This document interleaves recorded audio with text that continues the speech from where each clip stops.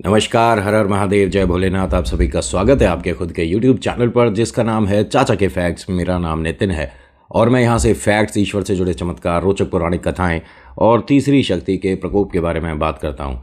कहानी के माध्यम से समझाता बताता हूँ, ये जो मैं कहानी आपको सुनाने वाला हूँ, बड़ी बेहतरीन है, कमाल है और इनसे जिनसे मेरी बात हुई ना, ये कहते हैं कि मैंने शुरुआत में कभी ये सोचा भी नहीं था कि नितिन, ऐसा भी हो सकता है या पॉसिबिलिटी होती है। कहते हैं कि इंसान जो पढ़ा लिखा है वही कमा सकता है। लेकिन मैं वो जीता जागता एग्ज़ाम्पल हूँ, जो ये कह सकता है कि मैं अनपढ़ हूँ, लेकिन मैंने घर चला दिया। खैर, क्या है, क्यों है, कैसे है, सब कुछ बताऊँगा। अभी फ़िलहाल चैनल का इंट्रो फिर उसके बाद आकर कहानी शुरू करूँगा। कहीं मत जाइएगा, पूरी कहानी सुनिएगा। हर हर महादेव।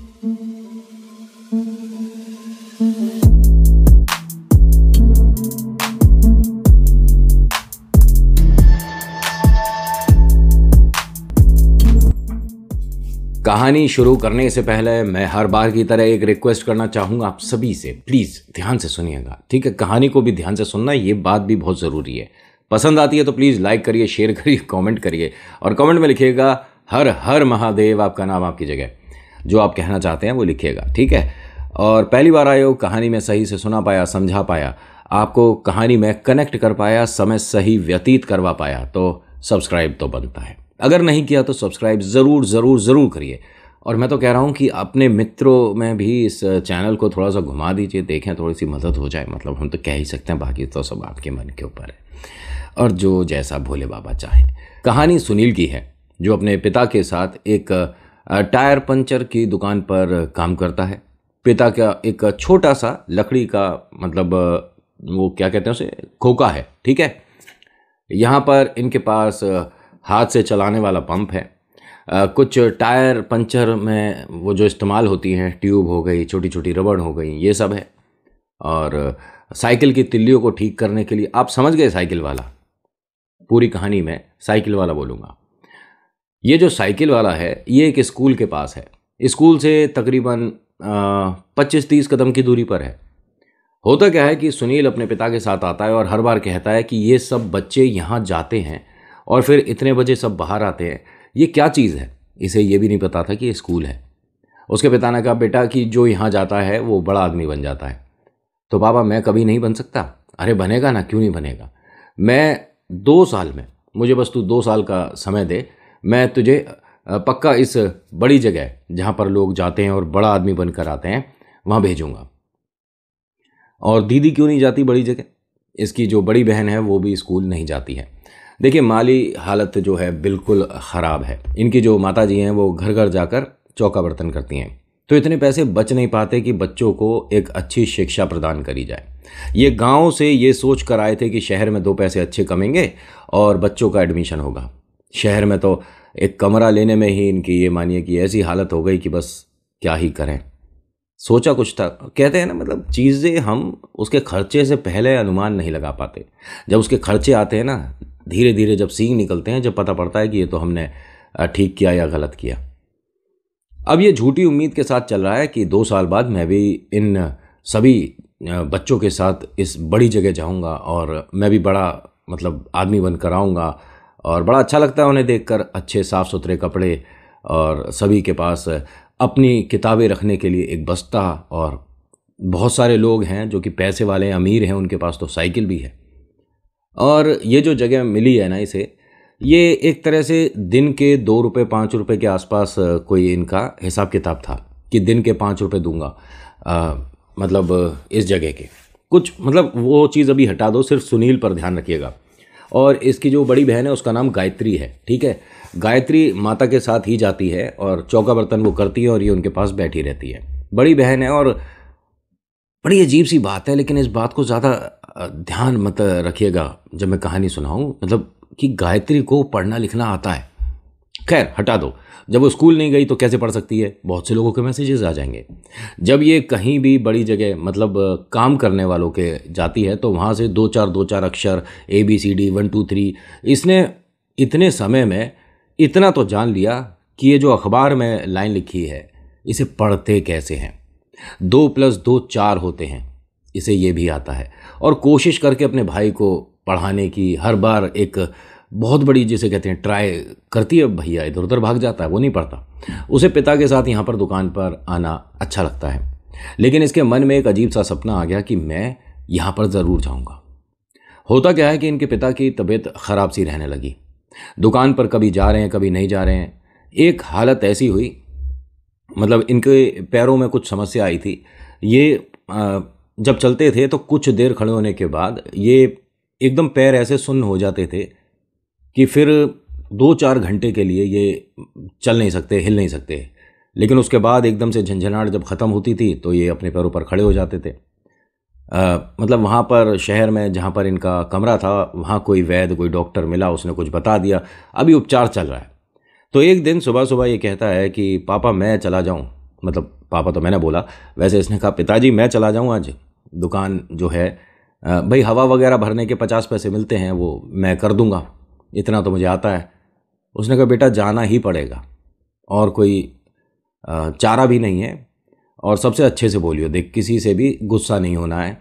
कोई तेरे को अगर बिना पैसे भी दिया चला गया तो भी कोई बात नहीं। ठीक है, हम हम, हमारा मेहनत का काम है और जो हाथ के कारीगर होते हैं ना, उन्हें दो बातें सुननी पड़ती है। नहीं, पापा, अगर मैं किसी के जैसे साइकिल में हवा भरूँगा या पंचर लगाऊँगा तो वो पैसे नहीं देंगे। नहीं बेटा, कुछ लोग आते हैं, बड़े लोग जो होते हैं तो वो ऐसे भी चले जाते हैं। तो फिर पिताजी, वो बड़े लोग कैसे हुए? अगर हमारी मेहनत के पैसे नहीं दिए तो वो बड़े लोग कैसे? अरे, मेरे से इतना दिमाग मत लगा। ये इस काम के लिए तेरी बहना है और मम्मी है। मेरे को वैसे ही पैर में इतना दर्द है, मेरा दिमाग मत खा। अब इसने दुकान की चाबी उठाई मतलब उस लकड़ी के खोखे की चाबी उठाई, पहुँच गया। अब वहाँ इंतज़ार कर रहा है तो बहुत से लोग आए, हवा उनकी साइकिलों में इसने भरी और उन्होंने पैसे दिए। तो एक लड़का इसकी सी उम्र का था। उसने इसे देखा और कहता है कि तुम्हारा नाम क्या है? मेरा नाम सुनील है। तुम्हारा नाम क्या है? तो उसने बताया कि, मेरा नाम पवन है। और तुम स्कूल नहीं गए आज? तो उसने कहा, वो क्या होता है? अरे, स्कूल जिसमें हम जा रहे हैं और तुम कौन से स्कूल में हो? हमारे स्कूल में तो नहीं हो शायद। नहीं, मैं नहीं जाता। नहीं, तुम फिर पढ़ते कैसे हो? मैं नहीं पढ़ता। तो तुम पूरे दिन यहाँ पर रहते हो? हाँ मेरा ये काम है, ये दुकान मेरी ही है और पापा आज नहीं आए तो मैं आया था। लेकिन तुम स्कूल तो जाते होगे, आज हो सकता है तुमने छुट्टी करी होगी। नहीं, मैं नहीं जाता। मेरे पास ये बस्ता नहीं है, मेरे पास ये साफ़ सुथरे अच्छे कपड़े नहीं हैं। ये पवन जो है, ये बात बड़ी अजीब सी लगी कि ये हुआ क्या? अब आओ पवन की फैमिली पर। पवन की जब स्कूल की छुट्टी हुई तो ये यहाँ से बिना इसकी दुकान पर रुके सीधा घर पहुँचा। घर जाके अपने माता पिता से कहता है तो वो कहते हैं कि, बेटा, ऐसे तो सड़क पर कितने लोगों की मदद करते फिरेंगे? कि वो तेरा नया दोस्त बना है, उसे भी स्कूल में पता है कितना खर्चा होता है। हमारे पास इतने फालतू पैसे नहीं है कि हम हर किसी की मदद करने लग जाएँ। अरे, तुझे पढ़ा रहे हैं, तेरे भैया को पढ़ा रहे हैं, तेरी बड़ी दीदी स्कूल में पढ़ रही है एक और का खर्चा मतलब ही नहीं है और उधर से जाने की ज़रूरत नहीं और ऐसे लोगों से बात भी नहीं करते हैं। ये माता ने एक अच्छा ज्ञान दिया। समझ गए? बड़े लोगों की बड़ी सोच होती है। लेकिन पिता, इनके घर में एक महादेव की मूर्ति खंडित हो गई थी, जो कि मंदिर में थी। किसी वजह से साफ़ सफ़ाई करते में वो खंडित हो गई, टूट गई। तो उसे पापा बाहर कहीं गमलों में इधर उधर रखने जा रहे थे। उन्होंने भी ये सारी बातें सुनी। तो क्या बोलते हैं इसे कि एक काम कर, भाई हम तो मदद नहीं कर सकते, लेकिन महादेव मदद कर सकते हैं। पापा महादेव कैसे मदद करेंगे? ये देख, ये मूर्ति है ना, ये अपने दोस्त को दे दे। और फिर उससे मिलने की ज़रूरत नहीं है, महादेव चमत्कार करने लग जाएँगे। और फिर वो कहीं से कहीं पहुँच जाएगा, बड़ा आदमी बन जाएगा, और यहाँ घर में इसका मज़ाक बनाया जा रहा है। और साथ ही साथ मेरे महादेव का भी मज़ाक बनाया जा रहा है। इस लड़के ने उस बात को थोड़ा सा सीरियसली ले लिया। अखबार में लपेटा और अब इंतज़ार कर रहा है अगले दिन सुबह अपने दोस्त को तोहफा देने में कि मैं उसकी मदद करूँगा। ये पहुँचा तो देखता है दुकान पर पिता भी हैं और इसका नया दोस्त सुनील भी है। ये कहता है कि मैं तेरे लिए कुछ लेकर आया हूँ और ये तेरी मदद करेंगे। अब पिता भी सुन रहे हैं कि भाई ये तो स्कूल जाने वाला बच्चा मेरे बच्चे से कैसे बात कर रहा है और इसकी दोस्ती कब हो गई? तो उसने खोल कर देखा अखबार में तो महादेव की मूर्ति थी बड़ी प्यारी सुंदर लेकिन पैर की तरफ़ से थोड़ी खंडित थी। आ, दोस्त ये ना थोड़ी यहाँ से अरे कोई बात नहीं महादेव है कितने प्यारे कितने सुंदर। पापा मैं इसे दुकान में रख सकता हूँ मूर्ति को। हाँ बिल्कुल रख सकता है ये तो भोले बाबा हैं इनके लिए तो हमेशा जगह रहती। आ जाओ आ जाओ रख दो। इन्होंने अपनी दुकान में एक छोटी सी जगह साफ़ करी उसमें एक अखबार का पीस नीचे रखा और उस पर महादेव रख दिए। सामने किसी के कहीं फूल वगैरह लग रहे थे वहाँ से लाकर एक फूल रख दिया। भोले बाबा खुश हो गए इसमें। बोलो हर हर महादेव। होता क्या है कि ये जब बच्चा गया तो जाने के बाद एक टीचर यहाँ पर आते हैं और इस बच्चे को देखकर बोलते हैं कि तुम स्कूल नहीं जाते। नहीं मैं नहीं जाता। आ, लिखना पढ़ना आता है? इसने वैसे ही कह दिया लड़के ने। हाँ आता है। अच्छा अच्छा। तो कोई काम बताऊँगी, कर लोगे? क्या काम करना होगा? चलो, वक्त आने पर बताएँगे। अब वो इतना बोलकर चली गई। अब यहाँ अभी तक चमत्कार तो नहीं हुआ, लेकिन शुरुआत हो गई। भोले बाबा दुकान में आए ना, अब इसके बाद देखो कमाल कैसे होता है। अगले दिन सुनील की दुकान पर दीदी भी आई हुई थी मतलब इसकी बड़ी बहन है, वो भी आई हुई थी, पिताजी थे, और किसी वजह से आई थी, बस ये यहाँ से जाने वाली थी, तभी दो बच्चे आपस में बात कर रहे थे। अरे मेरी कॉपी भर दे यार पूरी और आ, मैं सच में तेरे को दो पेंसिल दूँगा। मैं एक अपना फेवरेट वाला पेंसिल बॉक्स भी दे दूँगा ना तेरे को। मेरी मेरी कॉपी करवा दे यार। अब यहाँ इन दोनों की बातें सुनकर उसने गायत्री ने ये बोला कि कॉपी मैं कर देती हूँ। मुझे बताओ कितने दोगे? दीदी आप हमारी कॉपी कर दोगे? यानी कि अब ध्यान से सुनिएगा आप असाइनमेंट वगैरह लाते हो, किसी और को देते हो, वो लिखता है, दुनिया को पता है, चलता है। और ये तब की बात है जब ये बालक भी असाइनमेंट ही मान लो इनके लिए तो जो इनके पास कॉपी है। उन्होंने कहा, ठीक है, मैं पूरी कॉपी कर दूँगी और तीन रुपये लूँगी। तीन रुपये तो हमारे पास नहीं होंगे, हम दो रुपये दे देंगे दोनों। और बहुत पुरानी बात है। अब ये जो भाई है सुनील, ये सब कुछ सुन रहा था। इसने कहा, दीदी मैं भी कर दूँगा। तो उन्होंने कहा ठीक है हम अपनी क्लास की तीन चार कॉपी ले आते हैं अगर आप कर दो तो। अब होता क्या है यहाँ पर दीदी ने तो कॉपी नहीं करी। ठीक है वो मम्मी के साथ काम पर चली गई थी भूल गई। लेकिन ये रात में बैठ गया और लिखना शुरू कर दिया। पहली बात कि इसने पहले पेंसिल पकड़ी है थोड़ा बहुत आता है लेकिन इसे आ, मात्रा कैसे रखनी है और ये इस तरह से टू बनेगा इस तरह से प्लस होता है। भाई देख देख के ही तो लिखना है। और देख देख के लिखने में इसके हाथ ऐसे चलने लग गए कि ये तकरीबन एक सवा घंटे में पूरी कॉपी लिख चुका था। सब कुछ बंद किया और सो गया। सुबह उठता है तो देखता है कि दीदी, मम्मी, पापा सब कॉपी देख रहे थे इसकी। ये किसने किया? अरे, मैं, आप रात में सो गए तो मुझे याद आया कि देनी है ना कॉपी तो तूने लिखा कैसे है? अरे लिखा क्या? मैंने अपने हाथ से लिखा और कैसे लिखूँगा? लेकिन तुझे इतना साफ़ लिखना कैसे आता है? आ, मेरे को नहीं पता मुझे तो देख देख के लिखना था इसमें था क्या?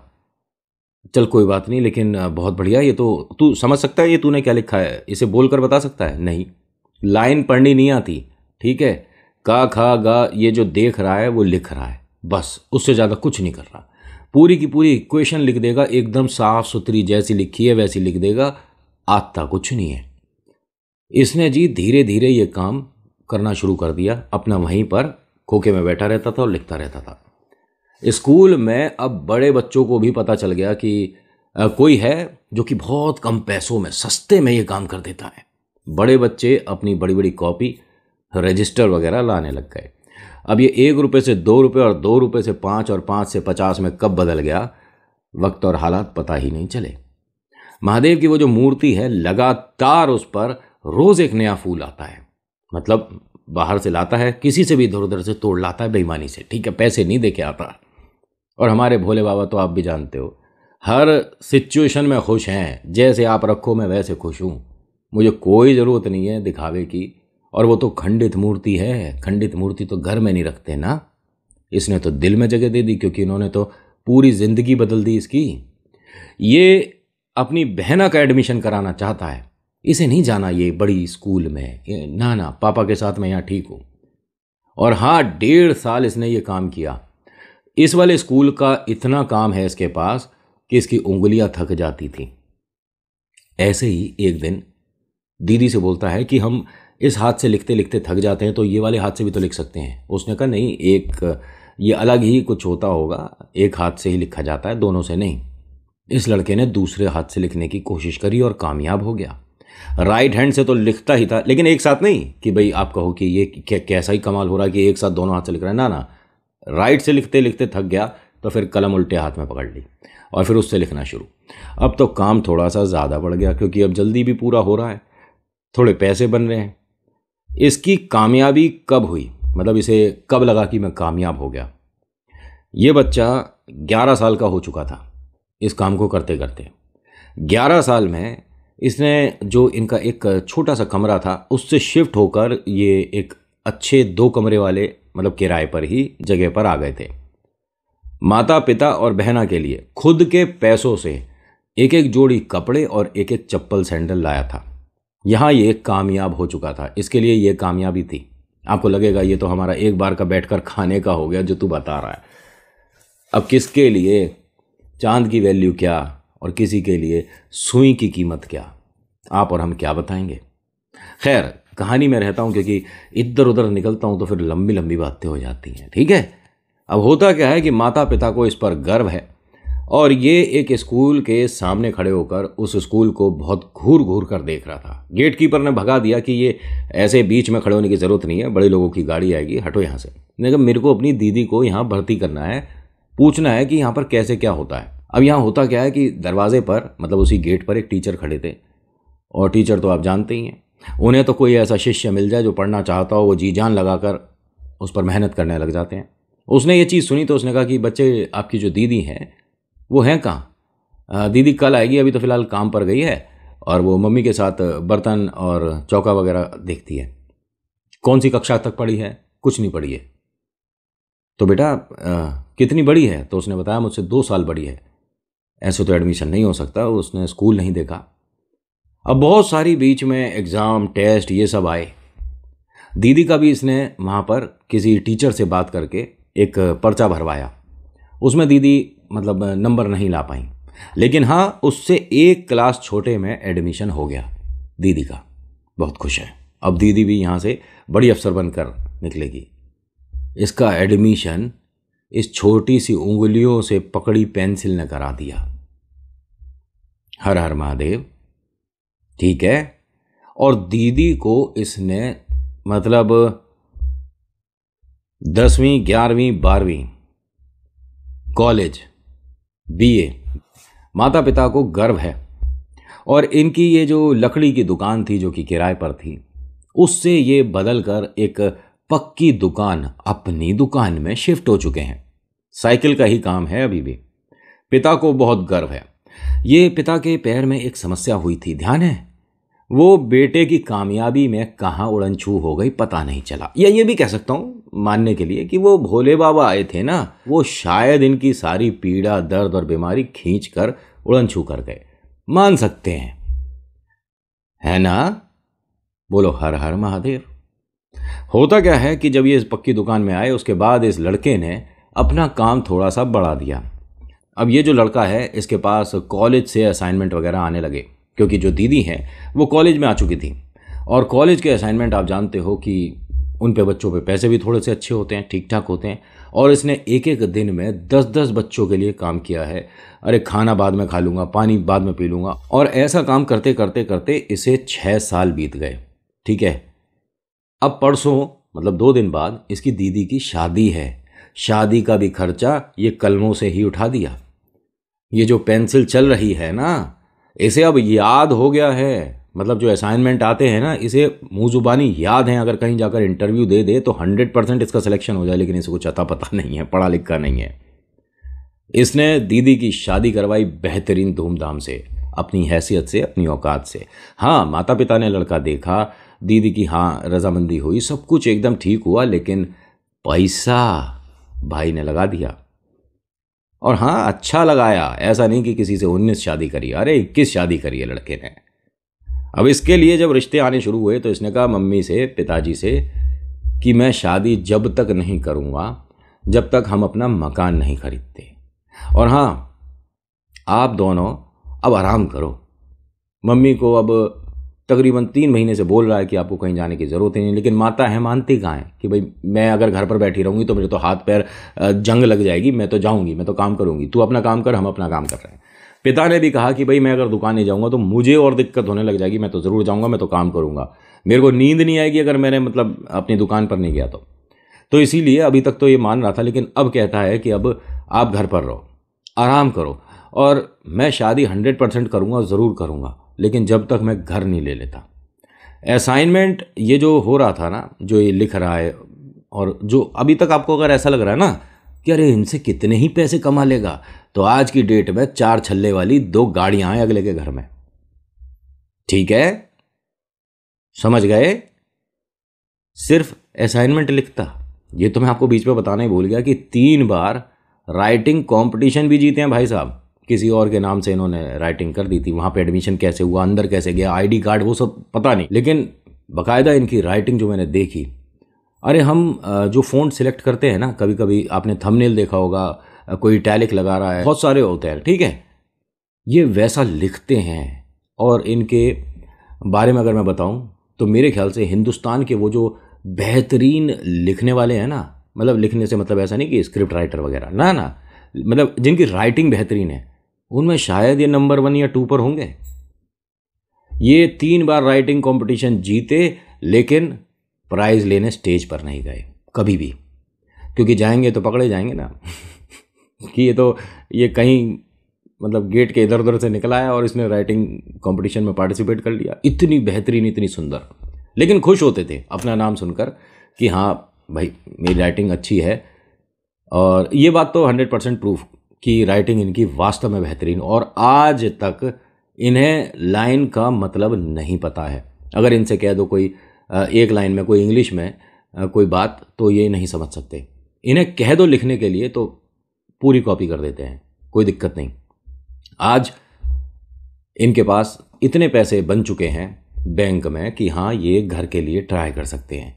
एक छोटी सी बात मैं बताना भूल गया कि इनकी दुकान में परिवर्तन तो हुआ, लेकिन भोले बाबा की वो खंडित मूर्ति परिवर्तन में नहीं आती। वो आज भी वैसी ही है। लेने को उससे बेहतरीन ले सकते हैं, लेकिन वो नहीं छोड़ी इन्होंने। क्योंकि वहीं से तो शुरुआत हुई। मन में जब आस्था जाग गई और फूल आज भी, ठीक है? अब हाँ एक बढ़िया जगह, बढ़िया ऑफ़िस बन चुका है, इन भाई साहब का, ठीक है? और उस बढ़िया से, ऑफ़िस के बढ़िया से मंदिर में महादेव हैं। खंडित मूर्ति वहाँ है। और हाँ कहते हैं कि नितिन मैं वो पहला शख्स हूँ जो कि अनपढ़ है। पूरे खानदान में, मेरे खानदान में बहुत सारे लोग पढ़े लिखे निकले, लेकिन एक बात बोल सकता हूँ कि इन सभी से, अपने पूरे खानदान में कह सकता हूँ, सबसे अच्छा कमाया है मैंने। और उस वक्त कमाया है जब हम पर लोग ताने भी कसते थे, हंसकर चले जाते थे। हवा डलवाते थे साइकिल में और पिता को दो तीन बातें सुनाकर चले जाते थे। वो वक्त भी देखा है। ना जाने कैसे, क्या पलटा, क्या हुआ, मुझे कुछ नहीं पता। लेकिन अगर चमत्कार होते हैं तो हाँ मेरे साथ ये हुआ। अगर आप सुना पाओ तो कहानी मेरी भी सुना देना। तो आपकी बात सराखों पर। मैं हर किसी की कहानी को शामिल करने की पूरी कोशिश करता हूँ, बट देर सवेर हो जाती है बस उसमें आप और हम क्या ही करें। इंतज़ार वो मैंने किया। अक्टूबर में आई थी आपकी कहानी, मुझे याद है। लेकिन समय आज आया इस कहानी को अपलोड करने का। इनके साथ जो महादेव ने चमत्कार किया, आपके साथ, सभी के साथ चमत्कार हो। सब स्वस्थ रहें, मस्त रहें, सब कुछ अच्छा हो। तो आज की कहानी में इतना ही। आज की कहानी आपको कैसी लगी मुझे बताएगा ज़रूर। अच्छी लगी तो प्लीज़ लाइक, शेयर, सब्सक्राइब ज़रूर करिएगा। कमेंट में लिखिएगा, हर हर महादेव, आपका नाम आपकी जगह। हर बार कहता हूँ, किसी भी बात को सच नहीं हाँ झूठ, गलत, जो भी मानना है मानो it's totally up to you एक बात हंड्रेड परसेंट ध्यान रखना और ये सच है, ईश्वर चमत्कार करते हैं। आपकी बस आस्था नहीं डगमगानी चाहिए। So thank you so much for watching मेरा नाम नितिन है।